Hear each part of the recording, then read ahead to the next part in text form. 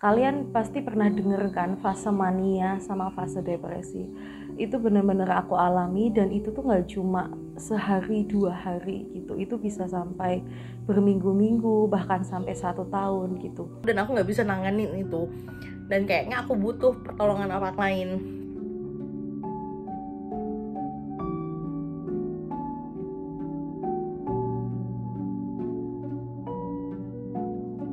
Perkenalkan, namaku Dinar Wulandari. Aku biasa dipanggil Dinar.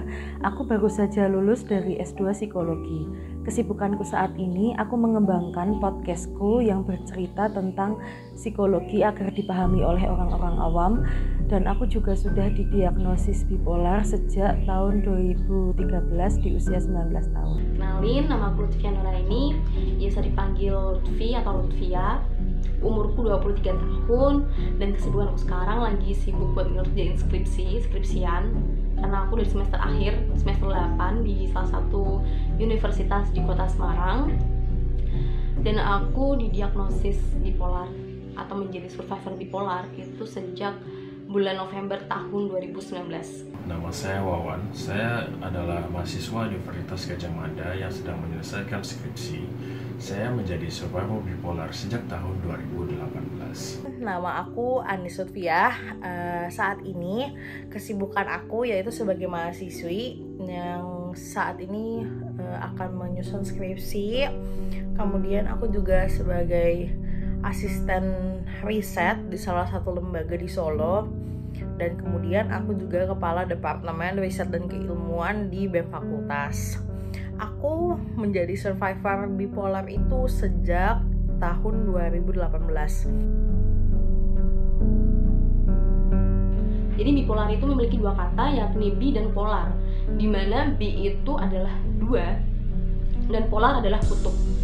Jadi di sini ada dua kutub yaitu kutub positif dan kutub negatif. Kutub positif itu adalah fase manik atau perasaan yang sangat bahagia sekali, senang sekali. Sedangkan fase depresif atau kutub negatif itu adalah keadaan suasana hati yang kita sedih banget, down banget. Itu fase depresif. Kalian pasti pernah denger kan fase mania sama fase depresi. Itu bener-bener aku alami dan itu tuh nggak cuma sehari dua hari gitu. Itu bisa sampai berminggu-minggu bahkan sampai satu tahun gitu. Itu beda banget sama mood swing di fase depresi saat moodku turun banget itu muncul pikiran-pikiran pengen mati, pengen bunuh diri, ngerasa diriku tuh nggak berguna, ngerasa diriku nggak berharga, ngerasa diriku tuh nggak dicintai. Dan kebalikannya ketika fase manik di fase up banget itu aku jadi kayak happy banget sih tapi jadi boros juga. Terus ada grandiosity juga ada perasaan-perasaan kayak merasa diri hebat merasa diri bisa merasa diri pede gitu Perjalananku mencari bantuan hingga didiagnosis bipolar oleh psikiater bermula saat aku kuliah S1 di semester 3. Saat itu sangat kuat muncul keinginan pengen banget bunuh diri, terus juga suka banget marah-marah, marah-marah sampai aku mungkin kurang terkontrol, misalnya dengan kayak membanting barang, merusak barang gitu. Akhirnya waktu itu aku memeriksakan diriku ke psikiater di usia 19 tahun waktu tahun 2013 dan di situ aku didiagnosis bipolar oleh psikiaterku. Di saat yang saya sudah capek, saya minta tolong ke teman untuk ditemenin ke psikolog. Jadi teman saya kebetulan membantu saya membooking untuk ke psikolog tersebut. Saya cerita, sudah itu saya dirujuk ke psikiater di Rumah Sakit Akademik UGM. Di sana saya berobat, saya keluhkan cerita dan masalah dan apa saja yang sudah saya lakukan dan dokternya langsung mendiagnosa saya sebagai bipolar. Perjalanan aku untuk mencari bantuan sampai aku didiagnosis bipolar itu gini. Awalnya aku ada acara kampus sore itu eh, acara rapat organisasi di mana ada suatu hal atau kata-kata yang menyinggung perasaanku.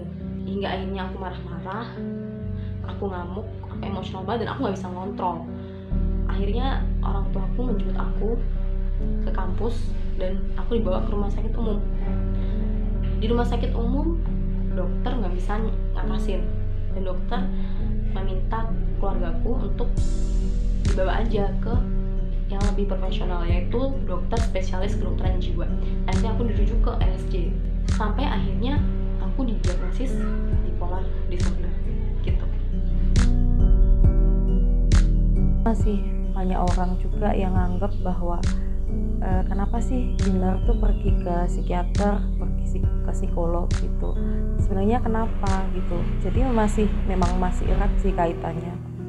Pergi ke psikiater, pergi ke psikolog punya gangguan bipolar itu sama dengan gila gitu padahal menurutku enggak buktinya aku juga masih bisa beraktivitas seperti biasa dan aku juga masih bisa ngobrol sama kalian semua jadi ada salah satu nih uh, anggota keluargaku yang bilang Allah itu paling cuma di kepala kamu aja dan kamu bisa kok ngatasin itu tanpa obat-obatan tanpa harus ngehabisin biaya yang cukup banyak buat datang ke psikolog atau ke psikiater. Tapi untungnya aku punya ibu yang selalu support aku buat berobat. Jadi meskipun ya ada anggota keluarga yang nyinyir atau yang kayak apaan sih e, kayak gituan aja kamu harus ke psikiater atau ke psikolog e, aku tetap disupport sama ibu dari keluarga pernah saya akhirnya jujur kepada keluarga bahwa saya itu bipolar tapi dari mereka hanya ah itu cuma di kepalamu aja. Ah jangan dipikir itu di kepalamu aja. Kalau itu diskriminasi berarti itu diskriminasi banyak. Pertama susah berpikir. Ada waktunya saat saya susah untuk berpikir lurus. Maksudnya berpikir lurus seperti konsentrasi saat perkuliahan. Ada juga kepala saya merasa penuh dengan suara-suara seperti berargumen. Kayak sulit berkonsentrasi ya saat belajar. Terus sulit untuk memulai tidur. Jadi sebelum aku tidur biasanya orang tua aku selalu menenangkan aku dulu gitu. Dipupuk dulu gitu sampai aku tenang dan aku bisa tidur gitu. Terus uh, kayak sensitif ya sensitif dan terlalu perasa gitu mudah tersinggung gitu. Aku dapat nilai jelek. Terus karena nggak fokus kuliah masih sering banget nangis. Habis itu masih sering juga trigger warning uh, melakukan percobaan bunuh diri. Pokoknya kacau banget lah istilahnya um, itu juga karena aku nggak konsumsi rutin nih obat-obatanku. Kayak mungkin masih denial juga ya. Merasa kayak salah aku paling nggak butuh sih sebenarnya obat-obatan ini gitu. Atau kayak capek banget buat minum obat setiap saat dan kayak banyak banget dan sampai kayak di posisi di mana aku muak banget untuk minum obat aku mual aku capek. Karena ketika di fase depresi itu jangankan tuh berangkat kuliah mau mandi seperti biasa makan seperti biasa aja rasanya nggak sanggup untuk bangun dari tempat tidur aja rasanya nggak sanggup. Untuk saat ini treatment yang aku jalani itu ke psikiater ya jadi melalui medikasi atau obat-obatan. E, pernah sih sekali aku ke psikolog. Itu waktu awal-awal aja masih masih susah mengontrol emosi. Aku pernah ke psikolog dan di situ dikasih banyak masukan banyak nasihat. Dan aku menikmati itu dan itu menjadikan aku lebih stabil dan lebih baik sekarang. Aku lakukan sampai sejauh ini adalah psiko psikofarmaka atau uh, farmakoterapi. Jadi obat-obatan dari psikiater yang aku minum kemudian beberapa waktu lalu juga datang ke psikolog. Jadi uh, obat-obatan itu untuk maintain uh, kondisi mood aku sebagai mood stabilizer dan kalau datang ke psikolog itu untuk beberapa hal kayak uh, psikoterapi dan lain sebagainya. Gitu. Aku sekarang enjoy sih untuk minum obat akhir-akhir ini karena aku merasa kayak ya udah aku butuh obat itu dan nggak bisa lah istilahnya aku lepas. Ibarat kayak uh, orang diabetes atau orang hipertensi kan butuh uh, obat yang buat maintain kondisi mereka. Nah, aku juga sama nih dengan kondisi bipolar aku, aku butuh obat-obatan untuk maintain um, mood aku agar aku tetap stabil. Aku masih rutin kontrol psikiater diimbangi dengan konseling ke psikolog. Jadi kalau menurut aku kedua-duanya sangat baik untuk berjalan bersama karena uh, psikolog yang membantu aku selama ini itu membantu aku untuk menghealing trauma-traumaku di masa lalu. Jadi sebenarnya bipolar itu kan faktornya ada dari genetik tapi juga ada dari lingkungan. Jadi trauma-trauma itu juga berpengaruh. Makanya sambil aku minum obat, aku mencari bantuan psikolog untuk bisa menghealing, merilis trauma-traumaku di masa lalu. Dan obat ini sebenarnya fungsinya bikin moodku stabil sehingga ketika aku berproses sama psikolog, aku nggak terlalu emosional. Sejauh ini aku menikmati semua prosesnya karena aku memang merasakan perubahan banget semenjak aku rutin konseling ke psikolog dan juga diimbangi dengan obat dari psikiater dengan pergi ke psikolog salah satunya aku juga bisa makin kenal sama diriku sendiri dan juga dengan gangguan yang aku alami. Ini aku juga mungkin jadi bisa lebih berempati ke teman-teman lain yang juga uh, memiliki hal yang sama pengalaman yang sama dengan aku. Dan aku yakin kok suatu saat aku benar-benar bisa pulih benar-benar bisa 100% pulih.